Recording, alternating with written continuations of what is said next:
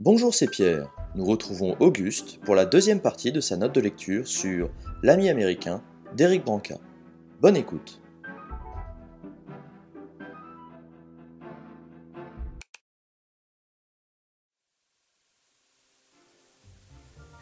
Alors nous allons procéder à la deuxième partie de la note de lecture donc sur l'ami américain d'Éric Branca avec une seconde partie qui va s'étendre du retour du retour au pouvoir du général de Gaulle en 1958 euh, à sa réélection en 1965. Alors, il faut euh, se rappeler donc de ce qu'on peut conclure de la, de la première partie, c'est-à-dire l'opposition notamment entre De Gaulle et Roosevelt pendant la Seconde Guerre mondiale et dans l'immédiate après-guerre, euh, d'une part. D'autre part, la volonté primordiale pour les États-Unis d'acquérir de nouveaux marchés pour leurs entreprises, et notamment des marchés représentés par les possessions coloniales françaises, y compris en Afrique du Nord. Et enfin, la tendance que les États-Unis avaient à tout simplement se mêler, s'occuper et influencer la politique intérieure française. Alors, le chapitre 6 du livre d'Éric Branca, qui s'intitule Des Félagas à l'OAS, Tout est bon contre De Gaulle, pose en fait deux euh, sujets fondamentaux. Et on va les traiter séparément, pour avoir plus de clarté. Le premier sujet, c'est l'influence des États-Unis dans la vie politique, économique, syndicale et aussi dans le milieu du renseignement français des années, euh, des années 40 et 50. Et on va voir à part la question strictement algérienne.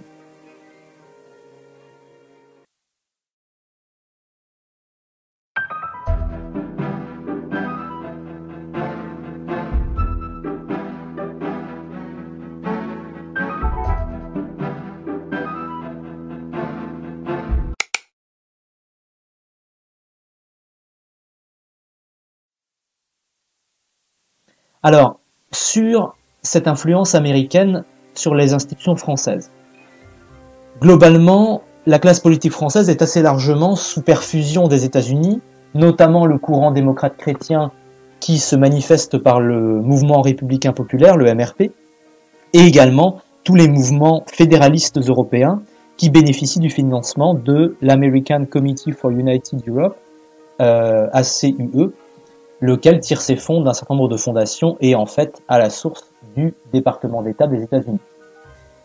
Donc il faut bien prendre conscience de ce levier-là financier que les États-Unis utilisent allègrement pour influencer la vie politique française. Cette influence est manœuvrée avant tout par les deux frères Dulles, Allen Dulles, donc l'ancien agent de l'OSS et le père véritablement de la CIA des années 50 qu'il dirige donc sous Eisenhower, et son frère John Foster Dulles, qui est secrétaire d'État, c'est-à-dire euh, ministre des Affaires étrangères. Donc les deux exercent leur mandat à peu près en même temps, en tout cas dans la même période, et les deux sont par ailleurs, très liés à un certain nombre de euh, grandes entreprises, notamment la fameuse United Fruit Company. Il faut présenter ensuite deux autres personnages qui sont importants spécifiquement pour l'influence des États-Unis en France. Le premier, c'est Irving Brown. Alors, Irving Brown, c'était celui qui était chargé de la liaison entre l'OSS, donc l'ancêtre de la CIA, hein, et les syndicats. C'est lui qui est derrière l'opération consistant à isoler la CGT par la création de forces ouvrières d'une part, et par la création de l'Organisation communiste internationale, euh, avec le fameux Pierre Lambert, euh, d'autre part. Et on va retrouver Irving Brown, vous allez voir, dans un certain nombre d'affaires euh, d'affaires importantes. Le deuxième personnage qu'il faut évoquer, et qu'on retrouvera aussi euh, de, façon, euh, de façon notoire, c'est un certain David Dubinsky, euh, qui lui représente le Jewish Labour Committee et qui est chargé particulièrement du financement des socialistes français. alors Eric Branca cite notamment les cas de Léon Blum et de Daniel Mayer, et c'est également le fondateur d'une union entrepreneuriale, Free Trade Union Committee, qui est notamment financé par Ford et General Electric. Donc on retrouve le lien là entre le grand capitalisme industriel américain et le monde du renseignement, euh, les deux donc se mêlant dans l'influence des États-Unis sur la France. Éric Brancard rappelle également l'influence des États-Unis dans le milieu du renseignement. Les accords, les fameux accords Bloom-Burns, signés dans l'immédiate après-guerre et qui prévoient notamment un quota de films hollywoodiens dans les cinémas français, ces accords contiennent, et c'est moins connu, un protocole secret baptisé Totem, qui prévoit l'échange systématique de renseignements, et ce protocole fait en fait de Paris le point névralgique finalement de la CIA en Europe. Par ailleurs, les fameux réseaux de la CIA euh, Stay Behind, qui sont derrière un certain nombre d'opérations durant toute la guerre froide, ces réseaux sont très infiltrés dans le renseignement français, donc le SDES à l'époque, et y compris le directeur du SDES, Henri Grossin. La présence américaine dans le milieu du renseignement est, suffisamment forte pour que euh, on considère que à Boulogne-Billancourt, l'île Saint-Germain soit une véritable euh, est une véritable zone américaine en fin de compte, tellement il y a d'agents euh, qui s'y regroupent.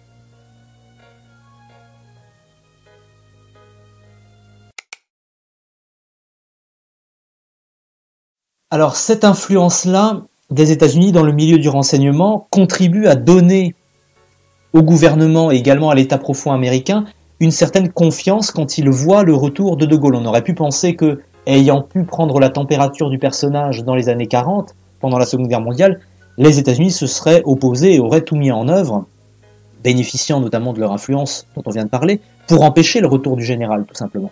Or, manifestement, euh, les services de renseignement comme le gouvernement, à l'époque on est sous la présidence d'Eisenhower, hein, et donc la CIA est tenue par Allen Dulles, euh, manifestement il y a un, laisser-faire. Euh, pourquoi? Parce que, vu des États-Unis, De Gaulle, premièrement, peut être relativement contenu et contrôlé, puisque les États-Unis sont très influents dans le monde du renseignement et dans le monde politique. Donc si jamais il n'est pas, euh, ne fait pas ce qu'il faut, eh bien il y a suffisamment de levier de pression à exercer. Deuxièmement, De Gaulle, disons que les États-Unis misent sur le fait qu'il s'est un peu calmé et tempéré, qu'il sera euh, plus gérable qu'il ne l'était dans les années 40-44. Et puis troisièmement, on considère que De Gaulle euh, apporte une certaine stabilité qui va consolider la France et qui va du même fait consolider le bloc européen et donc le bloc atlantique derrière. Une France solide, c'est un allié solide à condition qu'il reste sous contrôle. Donc finalement, il y a un certain nombre de bénéfices. Et là-dessus, euh, Éric Branca évoque une réunion qui a eu lieu le 28 mai 58, hein, au moment, euh, quelques jours après la, comment dire, la crise justement du, 13 mai qui va amener le retour au pouvoir du général de Gaulle sur fond de euh, crise en Algérie. Éric Branca raconte euh, la, une réunion du Conseil national de sécurité des États-Unis qui évoque le, comportement de la CIA vis-à-vis de ce retour. Donc je cite, c'est au page 146-147 de l'ouvrage. Le lendemain, 28 mai, Eisenhower approuve le plan et devant le Conseil national de sécurité américain réuni au grand complet en présence d'Allen Dulles, dit sa crainte de voir surgir de graves désordres si la SFIO et les communistes persistent à s'opposer au retour au pouvoir de celui que le président Coty, René Coty, un président de la 4 République à l'époque, euh, que le président Coty désignera bientôt comme le premier des Français, De Gaulle. Dulles n'a nul besoin d'un dessin pour comprendre le message. La CIA doit aider la gauche non communiste à faire le bon choix. Il demande donc aussitôt à l'un de ses émissaires, Dean Brown, euh, donc ce n'est pas Irving Brown, hein, faut pas confondre les deux, Dean Brown, spécialisé dans les relations avec les parlementaires socialistes, de traiter les plus récalcitrants d'entre eux. Donc Dean Brown était avec Dubinsky, si vous voulez, le, celui qui était chargé d'arroser les socialistes français. Et là-dessus, Eric Branca ajoute une petite note, je cite, témoignant le 17 mai 1989 devant l'Association américaine des études diplomatiques, Dean Brown a confirmé les consignes communiquées depuis Washington aux députés socialistes de la part du sous-secrétaire d'État adjoint Robert Murphy, le même qui, en 1940, avait assisté au défilé des troupes allemandes victorieuses sous l'Arc de Triomphe, avant de signer avec Végan puis Darlan les accords que l'on sait en Afrique du Nord. Rappelez-vous, hein, on avait allègrement parlé de Robert Murphy dans la première partie de cette note. Dean Brown donc dit la chose suivante Je leur ai dit, Bob Murphy veut s'assurer que le groupe socialiste se divise au moins en deux lors du vote pour De Gaulle. Les plus catégoriquement opposés à lui peuvent voter contre, mais tous les autres doivent voter réellement pour lui. Et ils l'ont fait. Donc là, on a le témoignage de Dean Brown qui confirme hein, le propos d'Eric Branca sur le fait que les États-Unis, en faisant pression sur les socialistes, ont favorisé euh, et ont permis, en tout cas, ont aidé au retour au pouvoir euh, du, du, général de Gaulle, ce qui peut paraître paradoxal. Et on va voir que assez rapidement, leurs espoirs de contrôler de Gaulle euh, vont tomber à l'eau.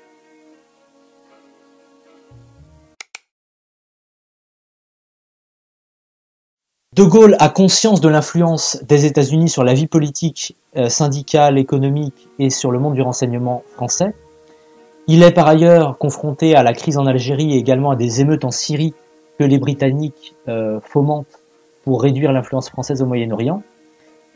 Et De Gaulle annonce tout de suite la couleur. Déjà, il refuse de recevoir Allen Dulles, le patron de la CIA, puisque celui-ci n'a pas de poste diplomatique ni gouvernemental alors que Alain Deleuze sous la 4 République euh, n'avait qu'à téléphoner pour être reçu par n'importe qui. Par contre, il accepte de recevoir le secrétaire d'État John Foster Dulles, le frère donc de, Allen qui lui a un poste au gouvernement américain, donc il a une raison officielle d'être reçu. Et euh, John Foster Dulles, en rencontrant De Gaulle, est un petit peu euh, désorienté parce que sous la 4 République, c'est lui qui donnait les consignes, et là il rentre dans le bureau de De Gaulle, et De Gaulle lui assène très sèchement alors, monsieur le secrétaire d'État, qu'est-ce que vous avez à dire? Alors que d'habitude, c'est John Foster Dulles qui demandait des comptes, il n'en rendait pas. Donc la, couleur est annoncée. Et euh, De Gaulle rajoute ceci à, John Foster Dulles qui lui dit que la France a besoin en gros d'être vassale finalement puisqu'elle est euh, coulée depuis 1940 euh, et euh, Foster Dulles insiste bien sur ce, cet abaissement de la France. De Gaulle lui répond la chose suivante. La France a subi en 150 ans 6 invasions et a connu 13 régimes. En plus, elle n'a pas de pétrole et elle n'a pas de charbon. Peut-être que si tout cela arrivait aux États-Unis, cela provoquerait chez vous d'ennuyeuses conséquences. Bon, les choses sont claires. En plus d'annoncer la, la, couleur à John Foster Dulles, le général de Gaulle charge Michel Debré, euh, donc son premier ministre, et celui qui a créé finalement avec lui la, la Ve République, le vrai père de la Constitution, hein, euh, charge Michel Debré de, purger le milieu du renseignement. Ça commence en 1950 avec le renvoi euh, d'un certain nombre de personnels de la Direction de surveillance du territoire, la DST. Ça se poursuit en 1961 quand Henri Grossin, dont on parlait tout à l'heure, le patron de la de la, pardon, du SDES, euh, donc et, qui était euh, très lié aux États-Unis, qui avait notamment dit aux États-Unis que le retour au pouvoir de De Gaulle, c'était le retour des communistes assuré. Euh, donc Grossin est renvoyé en 1961. Et en 62, c'est carrément le chef de poste de la CIA à Paris, un dénommé Alfred Ulmer, qui est renvoyé. Entre-temps, d'ailleurs, en 1960, Antoine Pinet, le ministre des Finances, qui était lui aussi très partisan d'une alliance atlantique et d'une entente avec les États-Unis, Pinet euh, donc euh, démissionne du gouvernement pour protester contre la politique qu'il juge trop anti-américaine de De Gaulle. Donc on voit que sur le gouvernement comme sur le monde du renseignement, l'influence américaine décline euh, rapidement, morceau par morceau, après le retour au pouvoir du général de Gaulle. Et cela a à voir également avec le deuxième point important de ce chapitre 6, qui est spécifiquement la situation algérienne.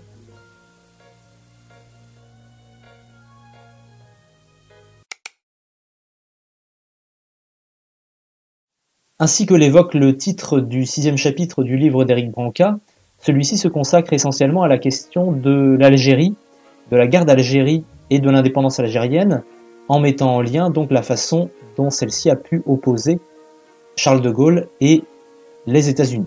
Alors, pour comprendre ce passage, il est important de revenir un petit peu dans le, dans le passé, c'est-à-dire avant 1958. On a vu précédemment l'influence qu'avaient les États-Unis sur le monde politique et le monde du renseignement notamment. Que cherchaient les États-Unis en Algérie? On a vu qu'ils étaient présents en Afrique du Nord dès finalement 1942, dès l'opération Torche. Ils cherchaient essentiellement des nouveaux marchés, des nouveaux débouchés pour leurs produits. Ça c'est assez classique, hein, c'est ce qu'ils recherchaient aussi avec le plan Marshall, et on a vu que c'était une constante de la politique étrangère des États-Unis, la recherche de nouveaux marchés. Deuxièmement, ils recherchaient du pétrole, du pétrole euh, donc qui avait été confirmé dans le Sahara en 1956 dans le champ pétrolier d'Assim et Saoud. mais dont on parlait déjà dans l'entre-deux-guerres avec le géologue euh, français Conrad Kilian, qui avait très fortement suspecté la présence de pétrole au Sahara, ce que les États-Unis avaient entendu. Et enfin, les États-Unis cherchent tout simplement, euh, dans, la, logique de guerre froide, à se positionner euh, justement dans les pays nouvellement décolonisés, à la fois pour se poser en apôtre de la liberté et pour damer le pion, évidemment, à l'influence de, de l'Union soviétique. Alors, chronologiquement, l'influence véritable des États-Unis dans les affaires algériennes commence en 1944, et il faut la citer l'action d'un dénommé Kermit Roosevelt, c'est le cousin du président Franklin Roosevelt, et c'est le cofondateur avec Allen Dulles de la CIA. Alors, en 1944, Kermit Roosevelt était un agent de l'OSS, donc l'ancêtre de la CIA, et il a procédé à l'agitation tout simplement des tribus kabyles contre la France dès 1944. Donc on voit bien que cette intention-là de soulèvement et de soutien à l'indépendance algérienne euh, ne date pas de 1958. Dès 1944, il y a des gestes en cette, euh, comment dire, en, ce sens. Euh, d'ailleurs, Kermit Roosevelt est un spécialiste de la chose, puisqu'en 1953, c'est lui qui dirige le renversement du Premier ministre iranien Mossadegh, et il finit, pour être récompensé en 1960, par diriger, enfin par être vice-président en tout cas, de la Gulf Oil Company. Donc, on peut associer le nom de Kermit Roosevelt au secteur pétrolier, au Grand Moyen-Orient et au renversement, à la déstabilisation des gouvernements. Cette influence des États-Unis devient visible au point que des dirigeants français comme Jacques Soustel euh, et Vincent Auriol, qui était à l'époque président de la, euh, de la République jusqu'en 1954, hein, euh, dénoncent justement l'influence des États-Unis en Algérie, qui est à l'époque, je le rappelle, composée de départements français. En 1956, nous retrouvons un personnage que l'on a présenté euh, un petit peu plus tôt, Irving Brown, celui qui a créé euh, finalement, le, pour isoler la CGT, qui a créé Force ouvrière. Eh bien, il euh, applique à nouveau ses talents en créant l'Union générale des travailleurs algériens. Il avait créé déjà l'Union générale des travailleurs tunisiens en 51. Alors officiellement, l'UGTA, donc l'Union générale des travailleurs algériens, c'est un syndicat créé par Aïssat Idir, mais manifestement, si on croit Eric Branca, le vrai initiateur de ce, mouvement, c'est euh, Irving Brown.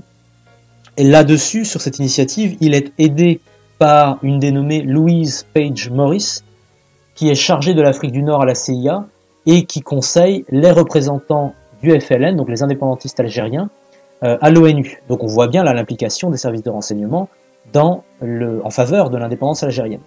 Et euh, d'ailleurs, Brown va se faire prendre la main dans le sac. Il est expulsé de l'Algérie en 1956. Euh, l'ironie de l'histoire fait que quand le FLN prend le pouvoir en 1962, Irving Brown tente de revenir pour, pour conseiller le nouveau gouvernement algérien et euh, ce dernier l'envoie promener tout simplement n'accepte pas ses conseils. Donc 56, Irving Brown est renvoyé d'Algérie. 1958, c'est évidemment le retour au pouvoir de De Gaulle, euh, mais c'est également la date de création du FLN et on l'avait vu le moment euh, auquel le, gouvernement américain décide de ne pas s'opposer au retour de De Gaulle pour les raisons qu'on a déjà euh, qu'on a déjà évoquées.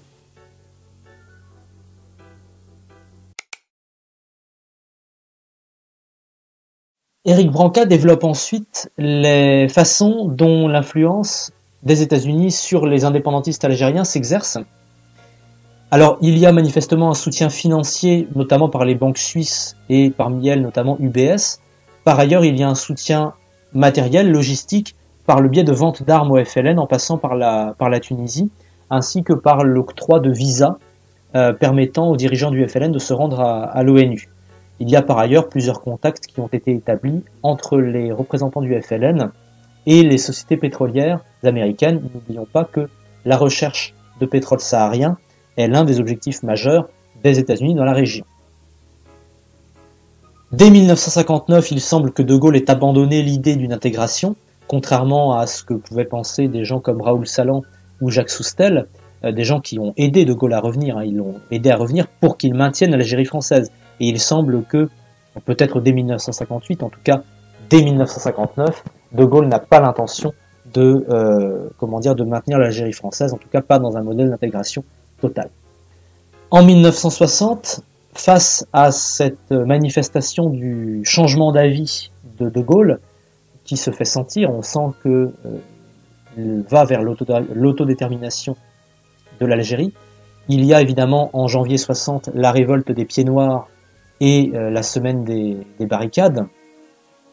Mais c'est aussi l'année 1960, c'est aussi l'année avec la, enfin l'année euh, pendant laquelle le général de Gaulle décide de discuter avec le gouvernement provisoire de la République algérienne, qui est donc une émanation du FLN. Et dès le 5 septembre 1960, le général de Gaulle annonce que l'Algérie algérienne est en marche, ce qui évidemment conduit à la radicalisation et à la rupture avec les Européens d'Algérie et les partisans de l'Algérie française. En 1961, un référendum pour proposer l'autodétermination à l'Algérie est proposé aux Français. Et c'est un, une victoire du général de Gaulle puisque à 75% les votants ont répondu oui. Donc c'est un de Gaulle prend ça comme une autorisation finalement pour proposer cette autodétermination. Alors euh, forcément les partisans de l'Algérie française commencent à se manifester et en 61 il y a les premiers attentats faits par l'organisation armée secrète euh, à Paris, donc au mois de, au mois de mars. Il faut notamment citer la présence dans l'OAS euh, du général Maurice Schall, Maurice Schall qui a euh, eu dans, son, sa carrière militaire la, la, comment dire, la responsabilité de commander les forces de l'OTAN en Europe centrale. Par ailleurs, l'un de ses proches, le colonel Lacheroy, appartient au réseau Stay Behind, donc de la, CIA. Euh, il est dit d'ailleurs par, euh, par Branca que le bureau de la Cheroy à l'école de guerre euh, est le lieu de rendez-vous des officiers antigaullistes, dont notamment Jean-Marie Bastien-Thierry, celui qui a tenté de tuer De Gaulle lors de l'attentat du Petit Clamart. Et donc, on va s'apercevoir là, avec ces années 60-61, que De Gaulle ayant accepté l'idée d'une autodétermination de l'Algérie, les adversaires virulents de De Gaulle ne sont plus les indépendantistes algériens, en fait, mais les partisans de l'Algérie française qui considèrent que De Gaulle trahit non seulement euh, ce pourquoi il est revenu au pouvoir, ce pourquoi eux l'ont ramené au pouvoir, c'est-à-dire maintenir l'Algérie française, mais qu'il trahit aussi la France, qu'il trahit les Européens d'Algérie, qu'il trahit aussi le monde occidental et la communauté atlantique. Et on, lira tout à l'heure un passage du procès de Bastien-Thierry euh, qui est très clair là-dessus. En avril 1961, il y a le fameux putsch des généraux, donc la tentative de prendre d'instaurer un pouvoir militaire euh, pour maintenir l'Algérie française, ce que De Gaulle appellera le carteron de généraux à la retraite. Et là-dessus, Éric Branca cite un article du Monde daté du 28 avril 1961 qui dit la chose suivante il paraît établi que des agents américains ont plus ou moins encouragé Maurice Schall. Maurice Schall étant donc l'un des généraux qui euh, ont décidé de prendre le pouvoir en Algérie pour échapper à l'autorité du général de Gaulle qu'il considère comme un traître.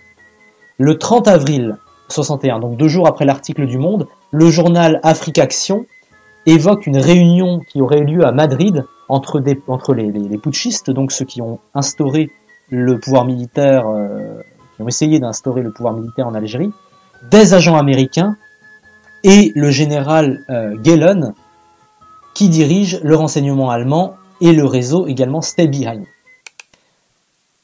Eric Branca évoque d'ailleurs le rôle du renseignement allemand, puisque le BND, donc justement le service de renseignement extérieur allemand, aide assez clairement l'OAS, notamment en procédant à des exfiltrations de ses membres, dont le plus fameux est euh, le colonel Argou, et le BND aide aussi, paradoxalement, le FLN, notamment avec l'aide de, euh, de l'ancien membre de la SS, Richard Christman.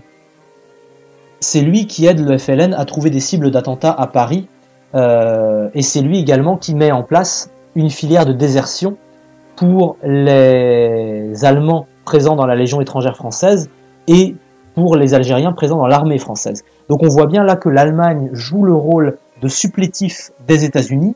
Et évidemment, quel est le point commun entre l'OAS et le FLN, euh, qui sont évidemment aux antipodes l'un de l'autre. sur la question algérienne, mais ils ont été ou ils sont opposés à De Gaulle. Donc on voit bien que c'est la France de De Gaulle qui est euh, visée à travers ce soutien simultané de, des États-Unis et de l'Allemagne à l'OAS et au FLN. Et ça nous renvoie donc au titre de ce chapitre 6, hein, des à l'OAS, tout est bon contre De Gaulle. Tout est bon. Euh, on aide à la fois les partisans les plus radicaux de l'Algérie française et on aide les partisans les plus radicaux de l'indépendance algérienne.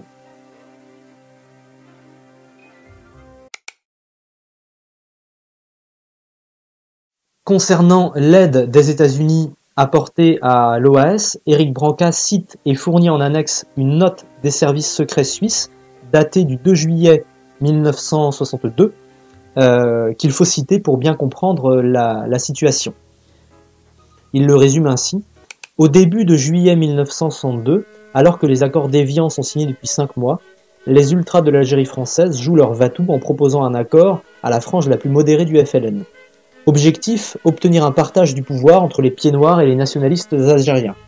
L'affaire fera évidemment long feu, trop de sang ayant été répandu de part et d'autre, et l'OAS elle-même n'ayant pas jugé utile de suspendre ces attentats en Algérie comme en métropole. Mais pendant quelques jours, des pourparlers se sont tenus sous l'œil intrigué de tous les services secrets occidentaux présents à Alger. Parmi eux, des agents du renseignement suisse qui, le 2 juillet, sont en mesure de révéler l'identité des négociateurs. Jean-Jacques Suzini, le colonel Garde et l'ancien maire d'Alger Jacques Chevalier, côté OAS, Abderrahman Fares et Shouki Mostefai, côté FLN. Mais aussi et surtout grâce à quels intermédiaires ils ont pu entrer en contact. Et on voit dans la note, évidemment, que les intermédiaires sont des intermédiaires américains. Donc on retrouve bien cette idée-là qu'on a, vu exercée par l'Allemagne, mais évidemment chapeautée par les États-Unis, de faire discuter, euh, de tenter en tout cas d'aider simultanément l'OAS et le FLN, la cible commune étant le général de Gaulle et sa politique jugée nocive pour les intérêts américains.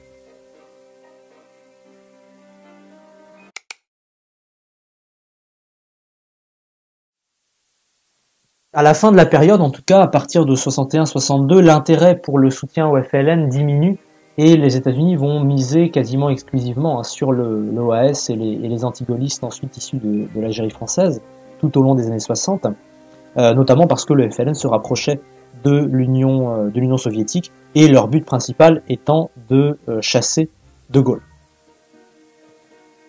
Alors, cette stratégie, en 1961 connaît un ralentissement.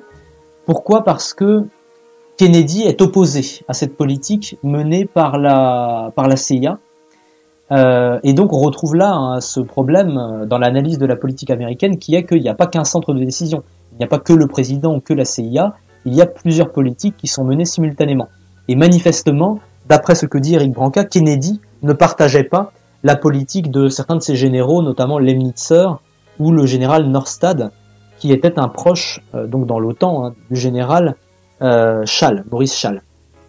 D'ailleurs, à propos de cette euh, influence des États-Unis et des liens avec l'OAS, c'est Kennedy qui lance une enquête pour faire le clair avant que la France ne le demande. C'est bien la preuve qu'une entente était possible avec le président Kennedy, mais un certain nombre de structures, notamment la CIA euh, et les, entreprises qu'il peut y avoir derrière, ou à côté, disons, euh, eh bien, il était, il était opposé.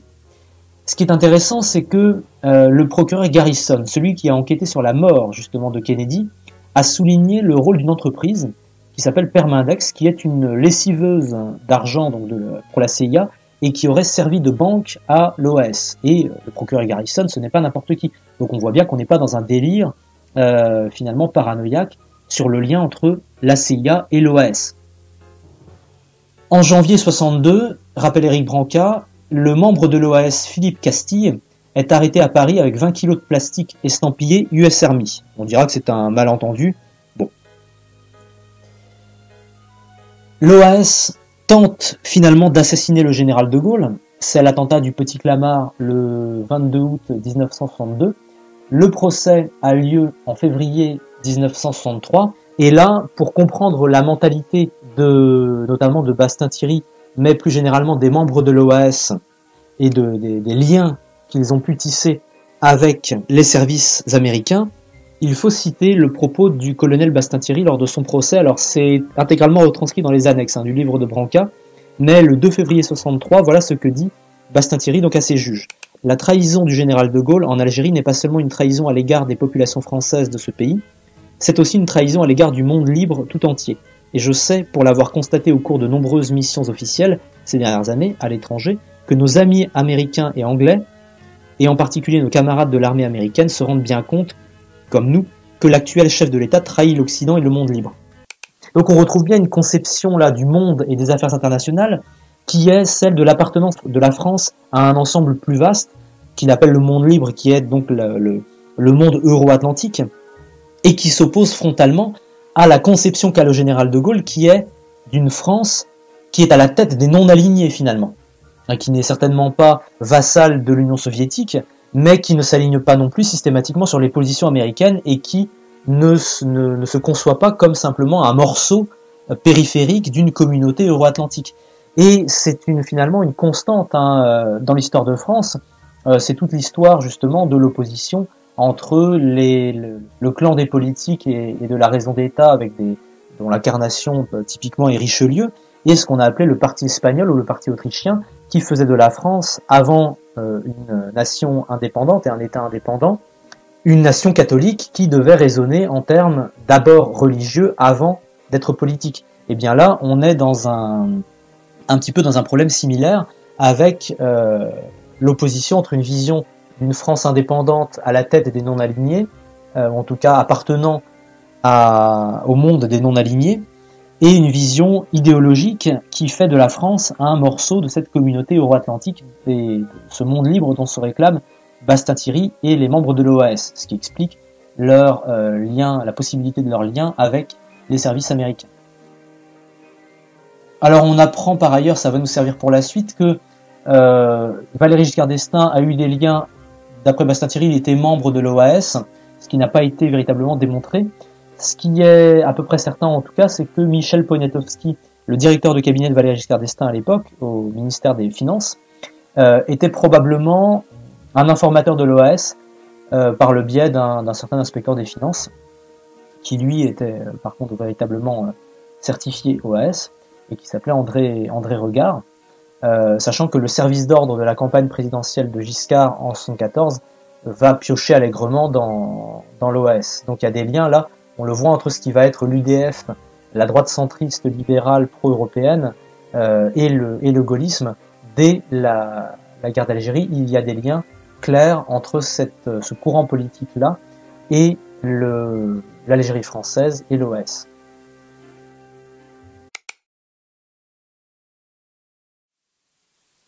Enfin, Eric Brancard rappelle que les États-Unis avaient offert l'hospitalité à Bastien-Thierry par le biais de sa famille. Hein. Euh, si Bastien-Thierry était euh, n'était pas exécuté, n'était pas condamné, exécuté, eh bien, les États-Unis s'étaient proposé de l'accueillir tout simplement aux États-Unis, de lui fournir un poste quelconque, peut-être dans temps, je ne sais pas. En tout cas, avait proposé à la famille Bastien-Thierry d'accueillir euh, Jean-Marie chez eux. Donc, et c'est également eux qui ont offert dans leur consulat l'hospitalité à Jean-Jacques Suzini, qui était une autre figure importante de, euh, de l'OAS. Donc on voit bien la collusion entre les services américains, les intérêts américains en Algérie, euh, les intérêts américains à couler le général de Gaulle et, euh, et l'OAS. Hein. Et pour servir ces intérêts-là, les États-Unis n'ont pas hésité à jongler, parfois même simultanément, entre le FLN, donc les indépendantistes algériens, et l'OAS, c'est-à-dire la frange la plus radicale des partisans de l'Algérie française tout était bon contre De Gaulle. On a vu également dans cette question algérienne le rôle qu'avait pu jouer le renseignement allemand, et ça tombe bien puisque c'est sur les relations France-Allemagne-États-Unis que porte le chapitre suivant.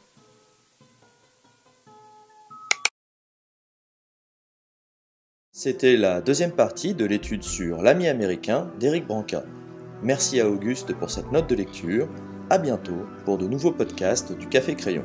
En attendant, je vous souhaite de bonnes journées.